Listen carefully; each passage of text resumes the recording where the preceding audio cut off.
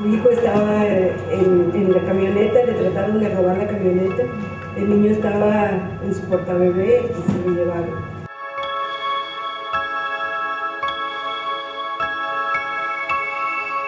Hoy estoy aquí porque secuestraron a mi esposo hace dos meses. La policía estatal, la fiscalía se lo llevó.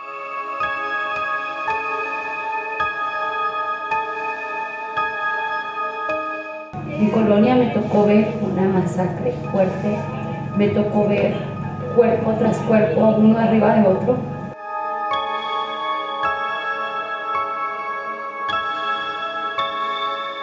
Exijo justicia para mi hijo. Juan Carlos mí no debió morir.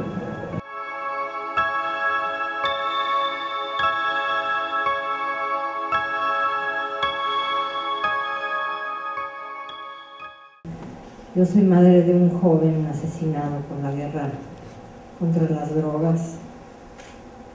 Joaquín era un chico de 21 años, lleno de sueños, se comía el mundo de una mordida, era listo, era tremendo, era coqueto, era muy simpático. Eh, no le alcanzaban las horas del día para hacer todo lo que quería hacer. Era el tipo de persona que, que el mundo necesita para ser un mejor lugar. Y en México están matando a esas personas las que pueden hacer de este mundo un mejor lugar. Y a las que no están matando las están convirtiendo en sicarios. Los niños hoy en día en México quieren ser sicarios. Quieren traer una hebilla grandota y una pistola y tener dinero para tener carros y mujeres y fama. A lo mejor que les hagan un narco corrido.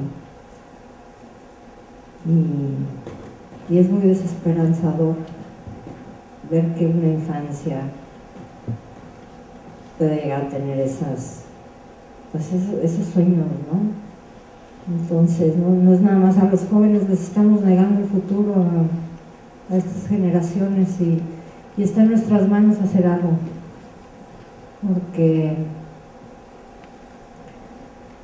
la situación en el país es es tan compleja, hablamos de violencia, hablamos de corrupción, pero también hablamos de un estado maquillado, de una simulación, de una, una asociación delictuosa, creo yo, con los medios de comunicación.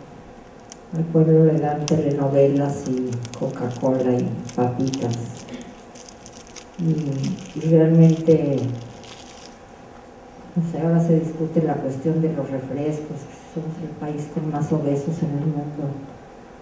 Y todo eso tiene que ver con lo mismo, ¿no? Con, la falta de, compromiso por parte de, del Estado de educar a la población, de preocuparse por la salud pública, de, ver a los jóvenes, los jóvenes que sí tienen esta capacidad de ver hacia el futuro, de de decidir qué quieren estudiar, no tienen acceso a las universidades, no hay lugar. Los jóvenes que ya no tienen ese acceso, por ejemplo, mi hijo, mi hijo es un número más en las estadísticas del, del gobierno. Su asesinato no ha sido investigado, Yo me he cansado de ir a la Procuraduría, es difícil, a veces salgo asustada y, yo veo muy difícil que desde ahí adentro pueda, pueda suceder algo que, que cambie las cosas. Entiendo que estás a favor de la legalización de la droga y de la despenalización. Y la regulación. Y la regulación, claro. Pero ¿qué, ¿qué estrategias ves, qué caminos ves para contrarrestar el argumento de quienes, de quienes espantan y dicen que una vez que la descriminalicen, entonces el consumo se va a ir para arriba. Pues yo creo que una campaña de sensibilización a esa gente y de quitar la satanización de la droga, ¿no? Y es una obligación del Estado y la obligación de las, sobre todo del Estado y las organizaciones fuertes que están por su despenalización, pues hacer estas campañas de sensibilización, recuperar la historia de la droga, que la droga ha acompañado a la humanidad durante Escotado y bueno, tenemos... todas, todo el tiempo. Burroughs lo dijo hace Sí, muchísimo todo el tiempo.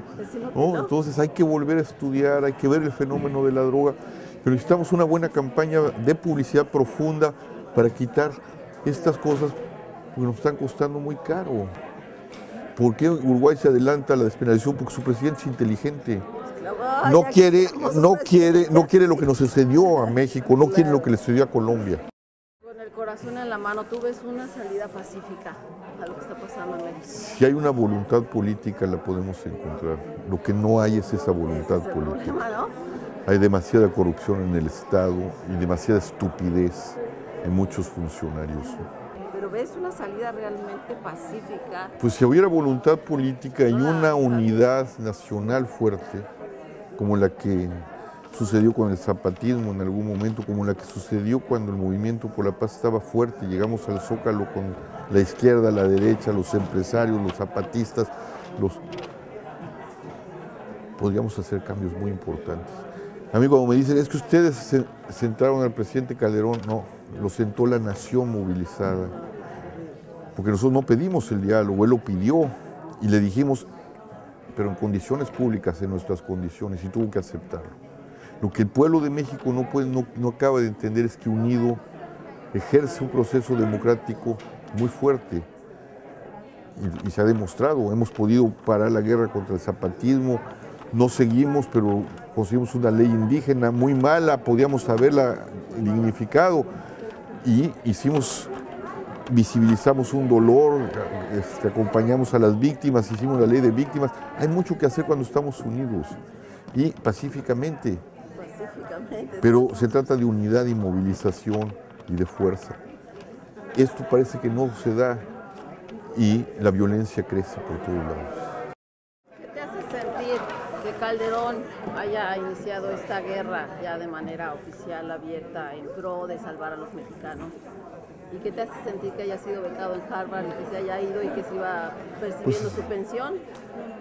Pues me parece lamentable. Yo mandé una carta con Sergio Aguayo a Harvard explicando que nos diera una explicación por qué un individuo que tenía señalamientos graves de violaciones a derechos humanos y que tenía víctimas detrás de su estrategia de seguridad podría estar dando Imagínate, becado, su un premio. becado en, en- Harvard, premio. que nos parecía verdaderamente denigrante para la dignidad eh, y la cultura y la educación. ¿Qué te hace sentir, sinceramente, de corazón, en palabras coloquiales, tener un presidente como Enrique Peña Nieto? Pues mira, yo creo que cualquiera, la clase política está podrida. Yo como lo dije, la, la gente no me entendió. Lo único resto de dignidad y de fuerza de resistencia civil que nos quedaba era darle la espalda a las elecciones. Ganara quien ganara, con la corrupción de la clase política, la corrupción de los partidos, iba a administrar el infierno. No podía ser de otra manera.